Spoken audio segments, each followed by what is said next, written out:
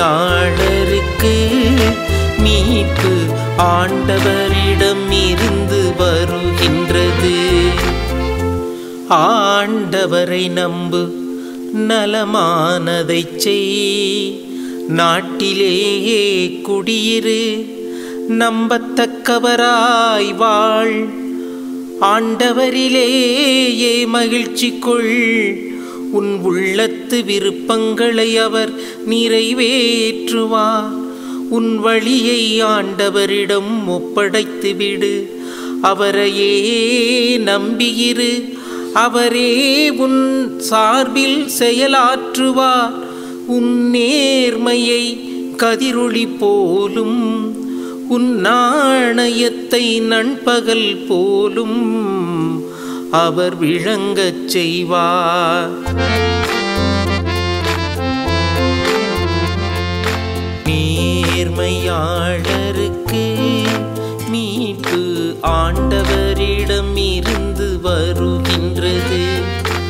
நேர்மையாளருக்கு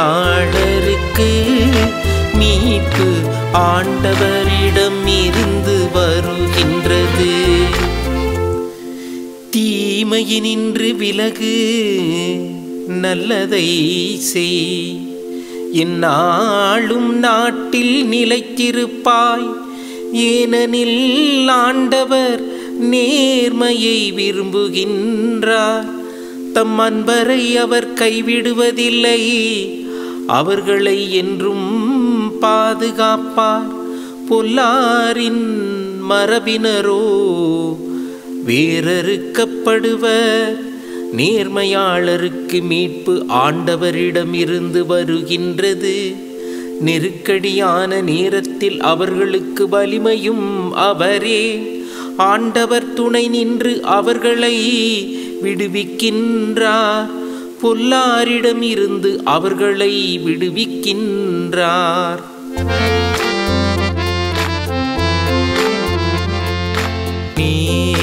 நேர்மையாளருக்கு மீட்பு ஆண்டவரிடம் இருந்து வருகின்றது. நேர்மையாளருக்கு மீட்பு ஆண்டவரிடம் இருந்து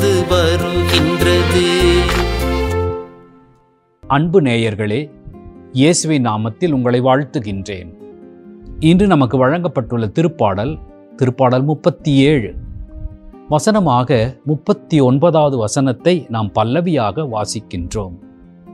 நேர்மையாளருக்கு மீட்பு ஆண்டவரிடமிருந்து வருகின்றது. இத்திருப்பாடல் அநியாயமாக துன்பத்தில் வாடுகின்ற நல்லவர்களுக்கு ஆறுதல் சொல்வதைப் போல எழுதப்பட்டிருக்கிற திருப்பாடல். தீமை அல்லது தீயவர்கள் வெற்றி பெறுவதைப் போல தோன்றுவார்கள். ஆனால் அதை கண்டு நல்லவர்கள் மனமுடைந்து விடக்கூடாது சலிப்படைந்து விடக்கூடாது. ஏனென்றால் ஒரு காலம் வரும் ஒரு நேரம் வரும் அனைத்தும் மாறும். ஒரு நாள் வரும்போது கடவுள் நல்லவர்களின் துயரத்திற்கும் தீயோரினுடைய மகிழ்ச்சிக்கும் முற்றுப்புள்ளி வைப்பார் என்று தெளிவாக இத்திருப்பாடல் அறிவுறுத்துகின்றது. இத்திருப்பாடல் சுருக்கமாக சொல்ல வேண்டுமென்றால் நல்லவர்களுக்கு ஆறுதல் தரும் செய்தியை தரும் திருப்பாடல். மூன்றாவது வசனத்தில் இப்படியாக வாசிக்கின்றோம். ஆண்டவரை நம்பு நலமானதைச் செய் நாட்டிலேயே குடியிரு நம்பத்தக்கவராய் வாழ். அப்படியென்றால் ஆண்டவர் வாக்களித்த நாடு. ஆண்டவருடைய வாக்களித்த அந்த நாட்டிலே நாம் தைரியமாக வாழ வேண்டும். ஏனென்றால் ஆண்டவரின் கண்காணிப்பு அங்கு உண்டு. எனவே பயப்பட வேண்டாம் கலக்கம் அடைய வேண்டாம் மனம் உடைந்து போக வேண்டாம்.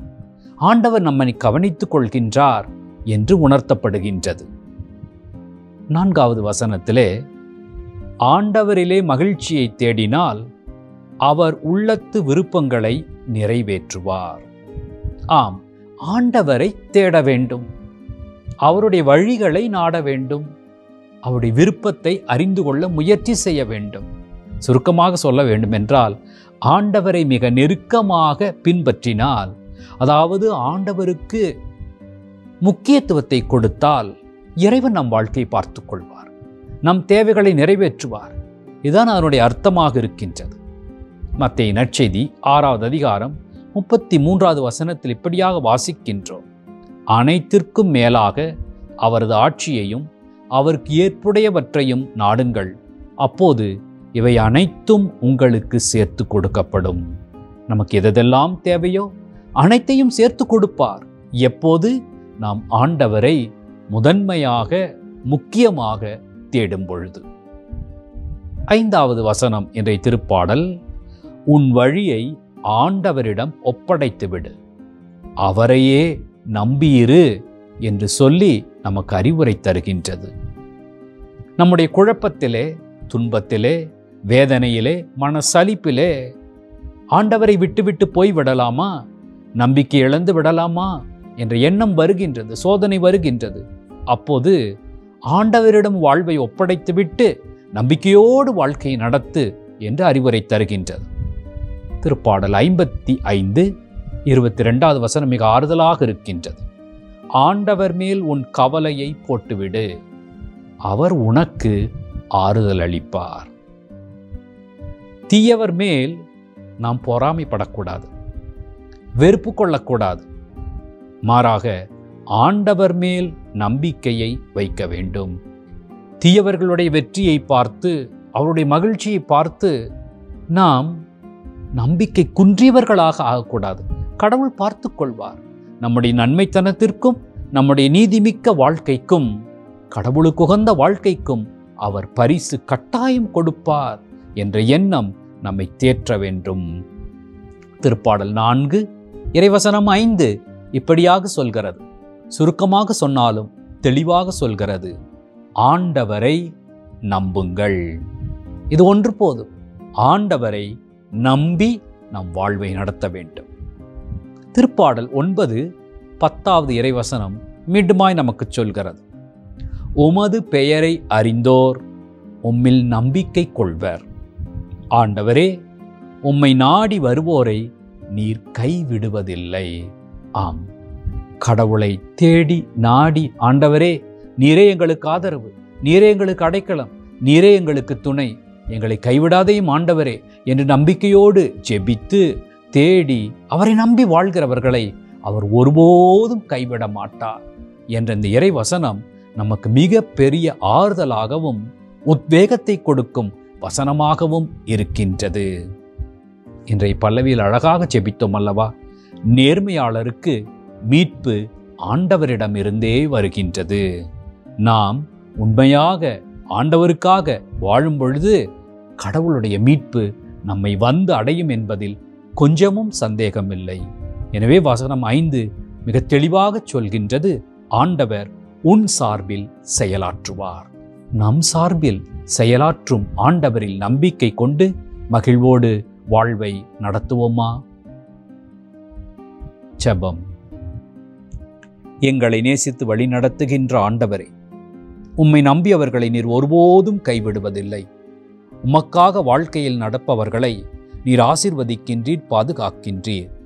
தீயவர்களின் வெற்றியை மகிழ்ச்சி கண்டு நாங்கள் மனம் சலிக்காமல் நீர் எங்களை கைவிட மாட்டீர் என்ற நம்பிக்கையிலே வாழவும் எங்கள் வாழ்க்கையிலே முன்னேறவும் அருள் தருவீராக. எங்கள் ஆண்டவராக இயேசு வழியாக கெஞ்சுமை மன்றாடுகிறோம். ஆமென்.